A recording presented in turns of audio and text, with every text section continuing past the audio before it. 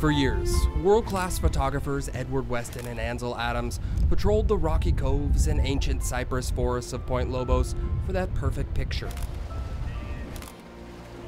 Point Lobos State Natural Reserve has often been called the crown jewel of the California State Park System, and for good reason.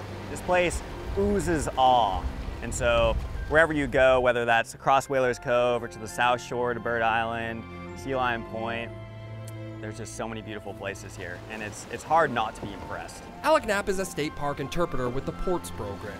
It's his job to give internet live stream lessons about the nature in the park. Let me uh, show you my amazing view that I have this morning out here on the ocean. As beautiful as this place is, it's also Alec's job to explain the ugly past of Point Lobos. This was a place where they did sea otter hunting, whaling, um, it was uh, an industrial business park. Inside the historic whaler's cabin, you'll learn about the atrocities that humans committed on Point Lobos in the late 1800s. Coal mining, abalone canneries, and deforestation of the rare Monterey cypress destroyed the ecosystem. But Point Lobos was most known for its whale hunting industry. This is what we call a tripod, where they would render down the whale blubber and make into lamp oil. Before kerosene and electricity, lamps ran off melted animal fat, and melted whale blubber was the most popular. Here, the Carmel Whaling Company slaughtered about 75 whales. The whale hunters at Point Lobos were often immigrants from the Azore Islands near Portugal. They were skilled hunters that harpooned whales in small boats. It was not clean, it wasn't uh, a one shot, then they were killed. It was torture. Until the early 1900s, there were about 16 whaling companies along the Monterey coast.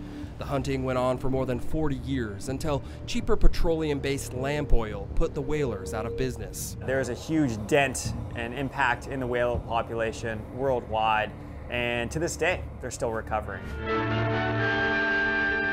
By the 1920s, a new industry moved into Point Lobos. Hollywood definitely had its impact on Point Lobos, so over 50 movies were filmed here at Point Lobos, including the first million dollar set. That million dollar set was built for the 1929 film Evangeline, and when it was burned in the movie, it caused a wildfire. It, it burned down several trees and uh, much of the surrounding landscape as well, so it did more damage than they planned on. Following that fire, movie production was limited at Point Lobos. The last Hollywood production permitted to film here was the 1989 Tom Hanks classic, Turner and Hooch. In 2007, the Department of Fish and Game expanded the ecological reserve and renamed the park Point Lobos State Marine Reserve. This gave greater protection to the ecosystem and made it illegal to take a wide range of fish, birds, and marine animals. It's nice to know that a place that was once disrupted and destroyed can return and ascend to such beauty that everyone can enjoy. So I think it's an inspiration for a better future. From the Whaler's Cabin at Point Lobos State Reserve, I'm John Bartell. Hope to see you on the back roads.